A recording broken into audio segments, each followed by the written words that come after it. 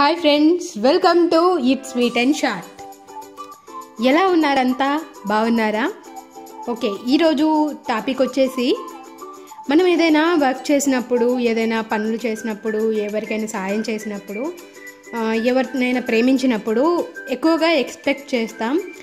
అది అంటే మనం ఇలా ప్రేమిస్తున్నాం వాళ్ళు కూడా ఇంతే ప్రేమించాలి మనం ఇలాంటి గిఫ్ట్స్ కొంటున్నాం వాళ్ళు కూడా అంతే గిఫ్ట్స్ ఇవ్వాలి మనం ఇలా చేస్తున్నాం. అది ఫ్రెండ్స్ విషయంలో కానీ లవ్ విషయంలో కానీ అమ్మా నాన్న విషయంలో కానీ ఎవరి విషయంలో అయినా సరే మనం ఇలా పెడుతున్నాం మనకి తిరిగి ఇంత అవుతుంది ఇంత వస్తుంది అని చెప్పేసి ఎక్స్పెక్ట్ చేస్తాం.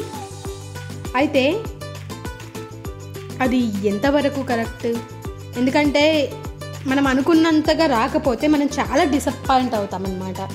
అందుకే మనము ఏది కూడా తిరిగి ఆశించకుండా ప్రేమించాలి. అది డబ్బు విషయంలో అయినా సరే ఏ విషయంలో అయినా సరే ఏదైనా పని చేసినప్పుడైనా సరే తిరిగి మనకు సక్సెస్ అవుతుంది తిరిగి మనకి ఇంత అవుతుంది అని ఓవర్గా ఎక్స్పెక్ట్ పెట్టుకోవడం కంటే మామూలుగా అది ఎలా అయినా సరే మామూలుగా వీలైనంత వరకు నెగిటివ్గా వచ్చినా కూడా మనం ఎలా రియాక్ట్ అవ్వాలి ఎలా మనం తీసుకోవాలి అని మన మనసులో అనుకున్నప్పుడే ఆ రిజల్ట్ ఎలా వచ్చినా కూడా మనం పెద్దగా బాధపడము పెద్దగా ఇబ్బంది అనిపించదు మనకు. కాకుండా అలా కాకుండా చాలామంది చేసేటప్పుడే దాని మీద ఒక హండ్రెడ్ పర్సెంట్ హోప్తో ఇది మళ్ళీ మనకి తిరిగి ఇలా వస్తుంది ఇలా వచ్చినప్పుడు మనం ఇలా రియాక్ట్ అవ్వాలి అని దాన్ని బాగా ఎక్కువగా ఎక్స్పెక్ట్ చేస్తారు. ఆ ఎక్స్పెక్టేషన్స్ ఎప్పుడూ మంచిది కాదు. ఎందుకంటే లైఫ్ అంత ఈజీ కాదు. మనం తిరిగి మ- ఒక్కోసారి అంటే మనం ఎక్స్పెక్టేషన్స్ రీచ్ కానప్పుడు ఎంత బాధపడతామో మీకు తెలిసే ఉంటుంది. మనము పలానా పని చేసినప్పుడు దానికి దాని నుంచి వచ్చే రిజల్ట్ మనకు పాజిటివ్గా లేకపోతే చాలా బాధపడతాం. కొం కొంతమంది అయితే డిప్రెషన్లోకి వెళ్ళిపోతారు. కొంతమంది ఇంకా ఇబ్బందిగా ఫీల్ అవుతారు.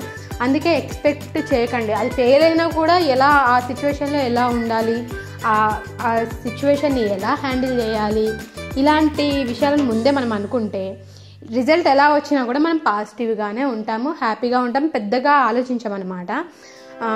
అది డబ్బు విషయం కానీ ఏ విషయమైనా కానీ సక్సెస్ కానీ ఏదైనా సరే. అయితే ఎప్పుడు నెగిటివ్ కానీ కాదు కానీ ఇలా చేస్తే మనకు ఒక హ్యాపీగా ఉంటుంది. సరే మనము అసలు అది ఫెయిల్ అవుతుందని అనుకుందాం అనుకోండి. ఆ ఫెయిల్ అయినప్పుడు అనుకోకుండా అది మనం అనుకున్న దానికంటే ఎక్కువగా మనకు వస్తుంది అనుకోండి రిటర్న్గా అప్పుడు ఉండే హ్యాపీనెస్ అంటే మనకు మనమే గిఫ్ట్ చేసుకున్నట్టు ఉంటుంది. మనకి మనమే ఈ గిఫ్ట్ ఇచ్చుకున్నట్లు ఉంటుంది. హ్యాపీగా ఫీల్ అవుతాం.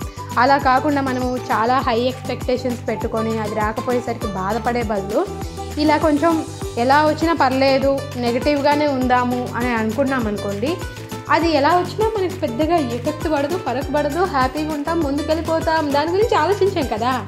అందుకని ఈ విషయాన్ని మనం ఎప్పుడు కూడా ఏ విషయంలోనైనా దీన్ని ఫాలో అయితే హ్యాపీగా ఉంటాం మనల్ని మనం బాధ పెట్టుకోం. ఈ విషయాన్ని మీరు కొంచెం గుర్తుపెట్టుకోండి హ్యాపీగా ఉండండి.